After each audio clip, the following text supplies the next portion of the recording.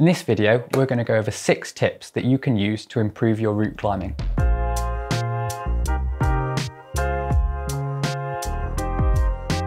I'm Josh, one of the coaches here at Lattice, and I specialise in outdoor route climbing.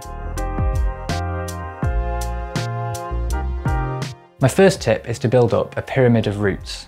What I mean by this is building a foundation of climbing on easier terrain and not always working at your limit. I would also recommend climbing on a variety of terrains and styles. What this allows you to do is gain experience on an array of different movements and techniques. It's much easier to work on these skills in a scenario that's below your limit, so that when you do come to your hard project, you have these skills and techniques perfected and can execute them without thinking.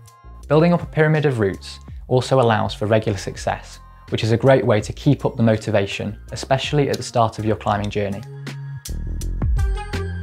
My next tip would be to try routes with other people.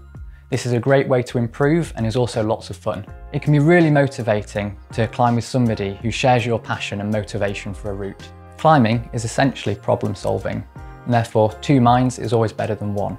When climbing on your own, it can be easy to get sucked into your own ways and habits, which may not be the most efficient way to climb a route. Watching somebody else climb can be a great way to realise where you may be going wrong and avoid falling into this trap. Following on from this, another really good way to analyse where you may be going wrong and also what you're doing well is to record yourself whilst climbing. This is definitely something that I think people should be doing more often as it's a really useful tool that can take your climbing to the next level and improve the efficiency of your sessions. In a way, it's like being your own climbing partner as it allows you to take a step back after climbing and pick up on things that you may not have noticed in the moment. Things to look for would be, for example, how to improve your body positions so you can climb the route more efficiently, and also maybe look for hand and foot holds that you might have missed whilst climbing. One of the best ways to take your route climbing to the next level is to maximise your pacing. Pacing is essentially the speed at which you climb. This is individual to everyone and will of course depend on the style of the route. However, Often, the most effective pace is the fastest that you can climb without sacrificing accuracy and efficiency. Effective pacing is a skill that is learned over time as you get more miles in on the rock and become accustomed to different movements. When working or red pointing a route, try and experiment with different climbing paces to see what works best for you. Something that's really important is to focus on improving your accuracy before you try and improve your climbing speed. This is because if you sacrifice your efficiency and technique for fast climbing, this can lead to bad habits when it comes to technique and harm your progression. A great way to improve your accuracy and efficiency and subsequently climbing pace is to include technique drills into your training. What I like to do is spend a few minutes during my warm-up working on my footwork.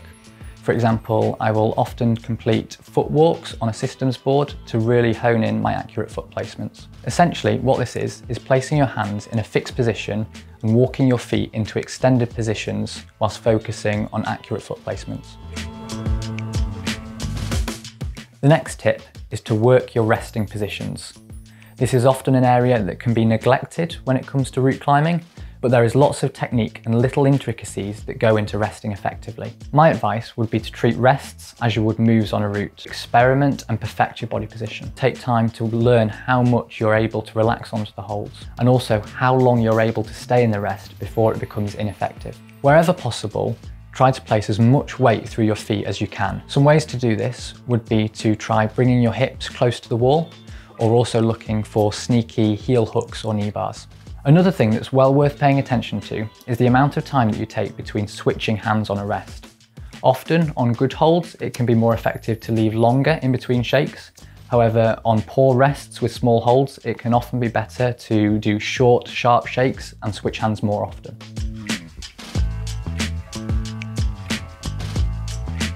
Love them or hate them, knee bars are a great tool to have as part of your repertoire.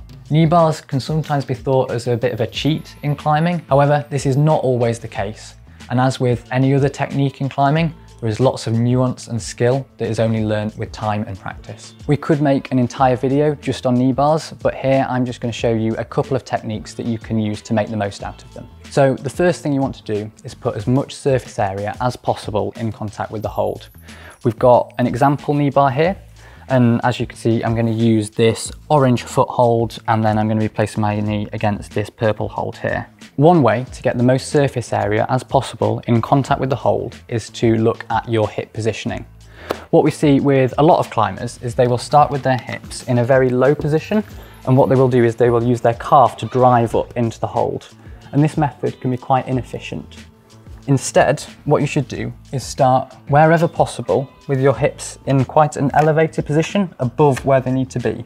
This allows you to place the whole of the lower quadricep in contact with the hold, and then what you should do is sink down into the position opposed to driving up.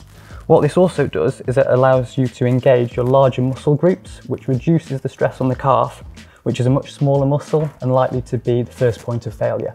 The final thing to look at is the positioning of your other foot. This is something that is often overlooked, but can be a really good way to A, improve the stability of the position and B, reduce the stress on your core. I hope you found this video useful. If you want to see more videos like this, don't forget to like and subscribe and we'll see you next time.